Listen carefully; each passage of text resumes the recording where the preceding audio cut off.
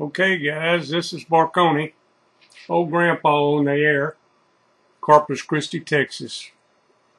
Today I'm going to do a little demonstration of a quick and dirty SWR bandwidth curve using your inline meter and your radio. Of course, it'd be nice if you had a, a meter like this that you don't have to adjust. It's not adjustable. This side here indicates the SWR going up this way. One through infinite over here. Over on this side, the needle represents RF. Right here, I'm showing my radio is set to 10% of its power. That happens to be 120 watts. So this is going to be represented on this screen, or should be, 12 watts. So I'm going to get back into regular mode. I'm going to work at the center CB band, or close to it, 27205.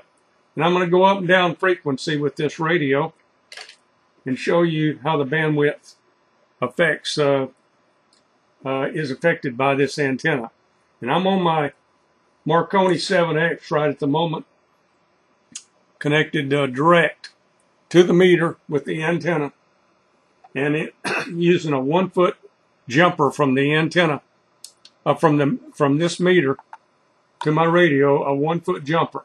That cuts down on any additional more than necessary. Shortest line you can get between your meter and your feed line will be helpful because if your feed line is reactive, it uh, it might throw some of your numbers off a little bit.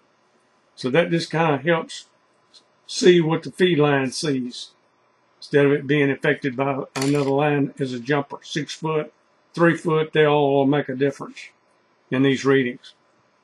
Maybe not much, but it will make a difference. All right, now right now I'm going to show you what my SWR, my RF output is uh, set up for uh, at 27205, uh, channel 20 roughly, or 21, 19, whatever it is. I don't know, somewhere around in there. All right, right now it's reading 12 watts, like I thought, 10% of 120 watts. And it's uh, right here is SWR's relatively flat right there. Okay, I'm going to unkey. And then what I'm going to do is I'm going to go down in frequency as far as it'll go until this needle right here goes up to 2 right here. Goes up to 2. That's the 2 right there under my pointer. That's the 2 right there. Okay? Just kind of take keep an eye on that. And you'll see it. I'm going to go uh, up in frequency first until I get to as high as it'll go to get me to 2. Okay? Here we go. Off we go. See that needle rising there? Okay, I'm going to stop right there because I'm pretty close. Now, we're right down, right down 29 140. That's the high frequency of a 2 to 1 SWR less than uh, less than 2 to 1 SWR. High frequency 29 140. Write that down. I'm going to do that right now. Take time to do that right now. 27 140. I mean 29. Need my glasses on. 29 140. Okay, because we're going to subtract the low side and get our bandwidth. This is just quick and dirty. Okay, now we're going to go down. I'm going to key Kelly, and watch it go down. And then it's going to go back up again when it passes frequent or uh, resonant frequency, and then we're going to stop. Key up and see. That's too high.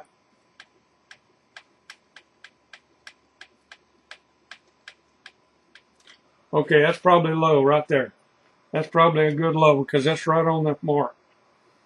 Now we're going to write down 25.420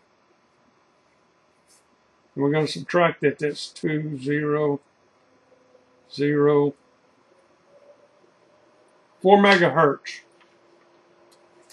4, 4 megahertz of uh, difference in, uh, in our, uh, is our bandwidth for this, uh, for this antenna. SWR bandwidth, by the way, because I also do one for uh, for uh, my analyzer. and I do something similar to it. I'm writing this down and I'm going to show it to you on the screen.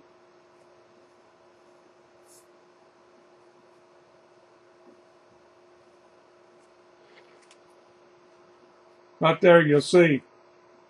That's what, oops, made a mistake. 29. 29, 140. I'm full of mistakes. 29, 140 minus 25, 420. That's where we are right now, 25, 420. We went up to 20. That's 4 megahertz of bandwidth.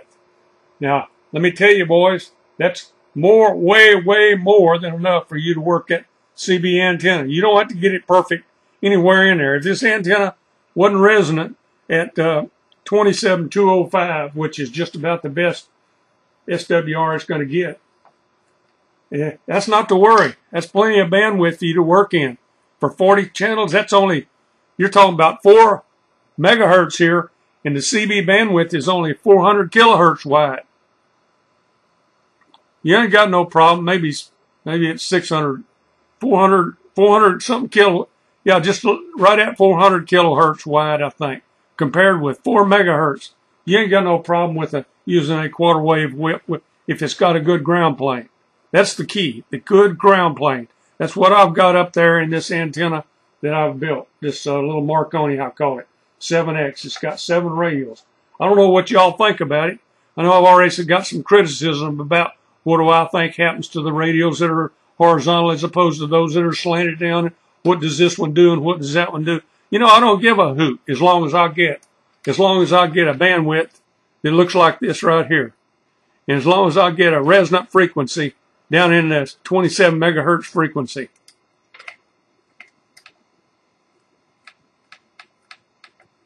That's, that's good right there. Look at it. We're going to go all the way across 40, 40 channels. That's a, a one point, uh, that's less than 1.2 right there.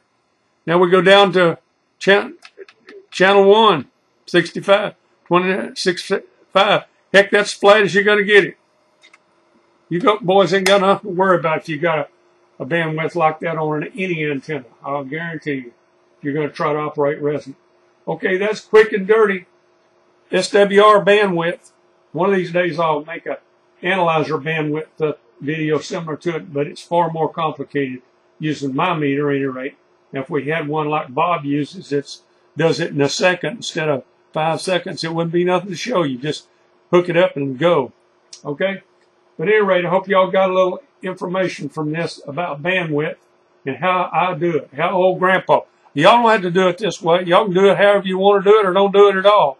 But this is what grandpa does. when you see a bandwidth curve from me, the down at the bottom end of it, you're going to see, you're going to see Here's an example of one right there. You're going to see down at the bottom end of it right here is what's called the inline meter bandwidth. See that right down there? See that right down there? Right down there. Inline meter bandwidth. That's that's that's where I put the SWR bandwidth. Okay. This is all the time I've got for today on bandwidth. But I hope y'all get a little information from this thing and and uh Enjoy your antennas. Get them resonant. Boy, key them down and talk. You'll do as good as you, that antenna is going to do you if you get your bandwidth like I just demonstrated. Okay? Y'all have a good day. This is old Grandpa, Corpus Christi, Texas, broadcasting live and in color on your two-way radio. By the way, let me turn it up just so you know the radio was on. Okay? See you.